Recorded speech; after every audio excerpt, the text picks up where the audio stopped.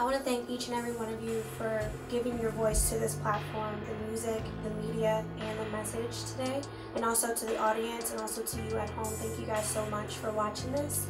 Um, so just to end on a good note, I kind of want to charge everyone out there with instead of making a New Year's resolution, why don't you make a promise to yourself to donating your voice to a cause, to a charity, to you know talking to your friends about what's going on in society.